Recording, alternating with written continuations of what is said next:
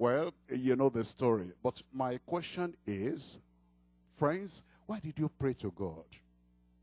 Why did you cry unto God? If you are going to kind of say all this stuff and throw all this out and still say this thing to Moses, to Aaron, and then you're still going to repeat the same thing. Why did you bring us out? Why did you pray at all? You know, sometimes uh, we're afraid that my husband, this is the way she is acting and this is what he's doing. And then we come to church and then we pray and we say, the Lord is going to give you the victory, this and that. And then after the prayer, we get back home and then the same thing we used to do with that husband that brought the trouble originally. After the prayer, we just continue to say exactly the same thing. How is the man going to change who doesn't come to church when the woman, the wife, coming to church and coming to convention does not change? The attitude does not change. The expression does not change. And uh, the way you always comport yourself and the way you always react whenever anything happens, that's the way you always do before convention and after convention. If we hearing all these messages, if we cannot change, how will the man that is not hearing the message, how will he change? The change will begin with us. And when the temptation comes to start talking like we used to talk and acting the way you was used to act and complaining the way we used to complain, we'll say, no, I'm a changed man. I'm a changed woman. That will not come out of my mouth again. I'm not going to have that repeated acknowledgement again because things are different now. I said things are different now faithless expression acknowledged repeatedly. Now I'm looking at number six. What is fear? Fierce emotions arousing restlessness. Fierce emotions. Uh, you know, when, when you think about fear, it's just an emotion. It's not actually what is happening. It's your own emotion. Because the same thing can be happening in different, uh, in, you know, to the same, to different people. Other people are calm other people are resting. Other people are just looking on their sin. Well, and the Lord knows how to, how to take care of this. And other people then become restless. What's the difference? It's your emotion. Your emotion. And uh, if you will take care of that, and you know sometimes how you take care of that, let's say for example, an emotion is rising up within your heart. It's like, you know, this is happening and this is happening all of a sudden because this is like your regular stuff, your regular thing and what you always do, the way you always react. You know what can change that? You make a move. Either you turn, either you stand up, or then you distract yourself, or you just take up the scriptures and read aloud, just anywhere, just to interrupt the thought that is coming to your mind because it's the thought that is bringing that emotion. The way we say it is that motion alters emotion. You understand? That is, you stand up or you walk briskly or you run or you jog or you do something very different. Change your the position of your body. And it says, and I've told you, motion changes or alters emotion. Now let's look at Mark, Mark chapter 4. In Mark chapter 4, I'm reading from verse 35. And you'll see here the fierce emotions arousing restlessness. We're looking at Mark chapter 4 verse 35. And the same day when the evening was come, it says unto them, let us pass over onto the other side. That's enough. Let us pass over onto the other side. Brothers and sisters, can you look up uh, for a moment? Uh, you know, if we think a little, just think a little, not pray too much, not fast too much. Yes, we can pray, pray, and we can fast. You ought to fast, but not too much. What did I say? Not too much. But you reason. Now, Jesus said, follow me, and I will make you fishers of men. And we have not won those converts yet. And Jesus said, heaven and earth may pass away, but my word shall not pass away. Whatever happens between now and the time he makes us fishers of men, those things cannot kill us. Those apostles should have thought like that. They should have thought, he said, follow me. I will make you fishers of men. And we're not there yet. And then he said, let us pass over to the other side. Let's pass over to the other side. Whatever happens between A, point A, and point B, because he said so, He's not even gone to heaven. He's right there in the boat. Whatever happens, we know we're getting to the other side. You know, if we just reason a little, all this fear that we have, everything will vanish away. I said it'll vanish away. And that's the reason why we need to you just relax and look at the word of God. What did he say? What has he told us? And because this is what he told us, and we know that even if heaven and earth will have to pass away, the words of Christ will not pass away. Look at that verse 35 again. The same day when the evening was come, he says unto them, let us pass over onto the other side. Well, I'm going to look at that verse again. Let us pass over. That is different from pass over. That is, let us, or see with them? I said, was he with them? Hey, do you remember what the Bible says? How Christ will die. In Genesis chapter 3 verse 15, I'll put enmity between thee and the woman and between thy seed and her seed. Thou shalt bruise his heel. He'll bruise your head. That's crucifixion. Do you remember Psalm 22? They pierced my hand and they pierced my feet.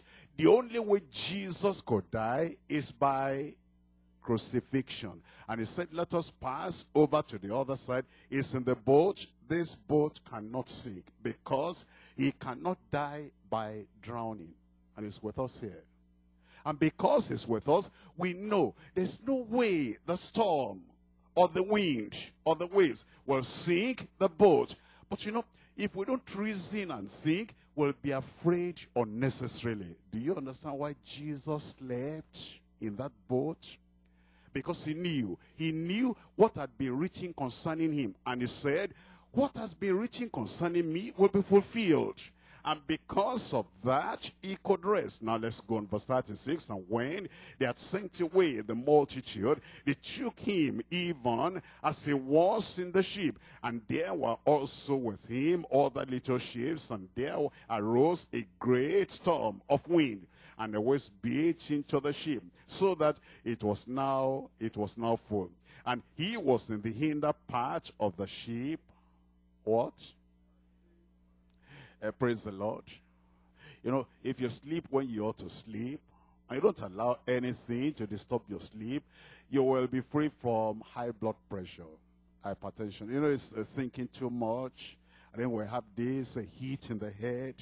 And then when you are not sleeping enough, you have fatigue. And then you have, with sleeplessness, you are going to also have forgetfulness. Your mind is not working well. And then you don't remember the right stuff and the right thing at the right time. And then you become absent-minded. And you say, they are after me. No, they are not after you. They are not after you. Number one, you worried yourself to sleeplessness. And then the sleeplessness caused this. And then when you are not sleeping at night, you know, thoughts will be coming. Because the mind, once you are awake, the mind is always at work. It's always generating, generating ideas and thoughts. And they're always negative thoughts. And those thoughts will compound the problem. But if you just sleep, I don't need pills to sleep. All you need to do is to understand we cannot drown here. Jesus said, let us pass over to the other side. And we're getting over to the other side. And everything he has ordained concerning you, everything is going to be fulfilled. And there is no enemy and there is no storm and there is no mountain that can change that. If you know that, you will sleep when you ought to sleep. You'll walk when you ought to walk. And you'll do what you need to do at the time you ought to do it. And there'll be no fear at all. I said there'll be no fear at all. Uh, you know, sometimes someone will say, I've decided to follow Jesus, no turning back, no turning back. I've decided to be like Jesus, no turning back, no turning back. To be like Jesus means not to worry. To be like Jesus means to sleep when you ought to sleep. To be like Jesus means not to keep awake unnecessarily because of storm or because of trouble. And to live your life peacefully is the Prince of Peace. Tonight, that will begin in Jesus' name. And then they came and he was in the part of the ship, asleep on the pillow. And they awake him and say unto him, you see that uh, people who are worried, almost worried to death, they disturb people who are peaceful.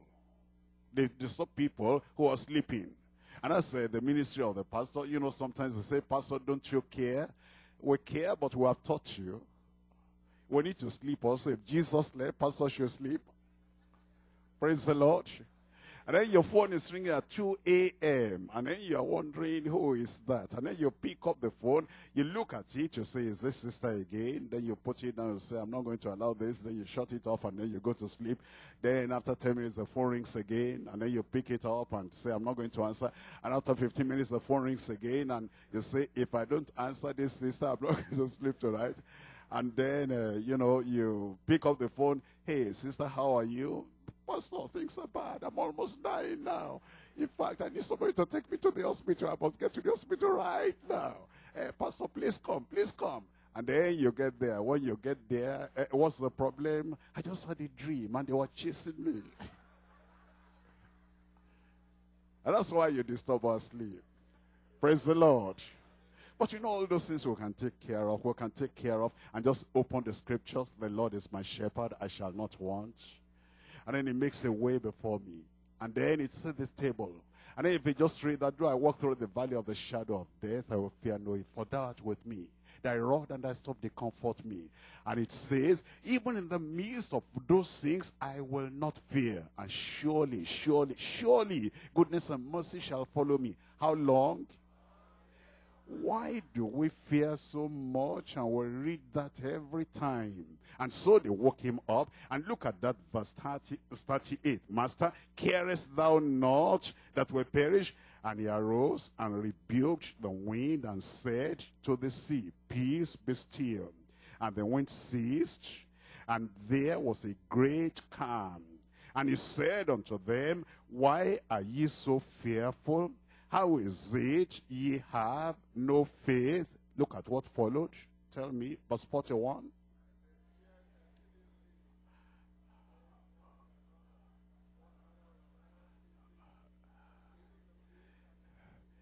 Is that the proper reaction? They feared exceedingly. I thought they were, I saw, I thought it would be, and they loved him exceedingly.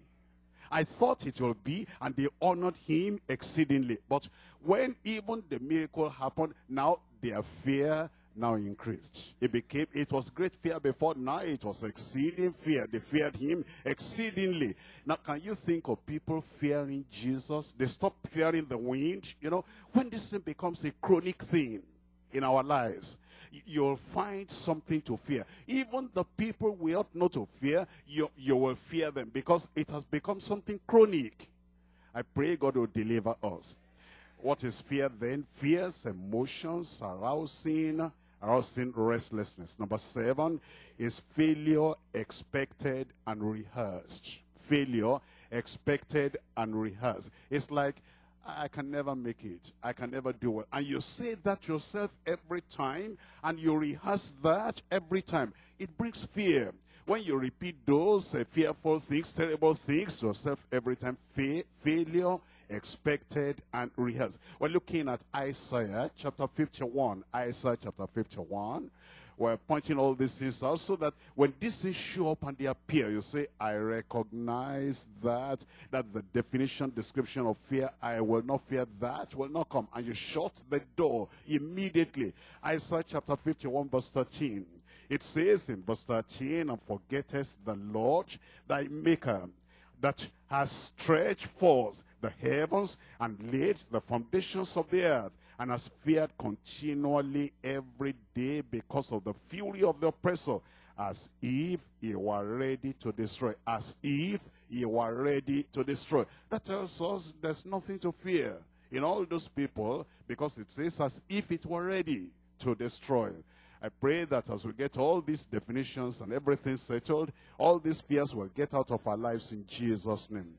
We'll settle with the definition and description of fear. We go to point number two the divine declaration to the faithful. Divine declaration to the faithful. We're looking at Isaiah chapter 35. Isaiah chapter 35. We're looking at verse 4. Divine declaration to the fearful. Isaiah 35 verse 4. It says, Say to them that of a fearful heart, be strong, fear not. Say to them that of a fearful heart, be strong and fear not. How do we become strong? The word of God is the bread of life. That makes us strong. The word of God is the water of life that we drink, makes us strong. And the word of God is like hammer, breaking rocks in pieces. And the word of God is like fire. When you have that word of God stored in your heart every time, it will give you courage. And then you think about the people that lived in Bible days and Bible times and what they went through. And say, I am not going through 1% of what those people went through. And if you compare your problem with their problems, you will not be afraid. You know, sometimes, uh, have you ever tried to do something? Let's say you have a little headache or you have a little problem in around your stomach. And then there are suggestions coming to you, and then it's making you afraid. And instead of, you know, just getting worried and anxious, you say, when is the visiting hour in the hospital? And then you go to the hospital. When you get to the hospital, you just visit the people and, you know, greet them. Then you will see cases that are much, much worse than the one you are trying to complain about. And you see some of those people still able to smile and able to say, thank you for coming. I appreciate that you come to visit me. You come out of that hospital, you say, if those people can be cheerful in their condition, as terrible as their conditions are, I think I can be cheerful because what is happening to me is nothing. Do you understand? We read in the papers and we see the things that happen and we'll see what happens to, you know, the people. Either a storm comes and, you know, devastates a, a, whole region, a whole community. Or it may be that people have gone to, you know, the war zone and about three children of the same parents, they've been to war and they're all dead and gone and their parents are still alive, and their parents are still breathing, and their parents are still living their lives, and they're not killing themselves because of that. Sometimes uh, one of their children has gone to school, and because of an erratic, uh, centric uh, child that carried a gun or knife, that child, one of the children, was already dead. And then they just brought information to the parents at home that this is gone. And eventually, those parents, they sum up courage. They said, well, we don't know why that happened, but we're going to live our lives. And some of them are unbelievers. They do not know the Lord. And they sum up courage and they still live, even with those calamities. When you think about what happens to other people and what a fraction, one tenth or one hundredth of it has not happened to you, then you say, well, there's nothing to complain about. And on, on, when you think about it, I have God on my side. I have the Word of God on my side. I have the Holy Spirit within me. And if that is the case, then I can live and I can rejoice in the Lord. That's why it says, be strong and fear not. We will not fear. I said we will not fear. In that verse 4 it says, Behold, your God will come with vengeance. Even God with a recompense. He will come and save you if the people that do not have that promise, if they can still live a kind of confident life, I about those of us that have the promise of God that God will come, He will save us, He will definitely come. He said we should be strong, take courage, and not be afraid. We're looking at Isaiah chapter 8. Isaiah chapter 8, I'm reading from verse 11. Isaiah 8, verse 11. For the Lord spake thus unto me with a strong hand and instructed me that I should not walk in the way of these people, saying, Say ye not, a confederacy. To all them to whom these people shall say, a confederacy, neither fear ye their fear, nor be afraid. Neither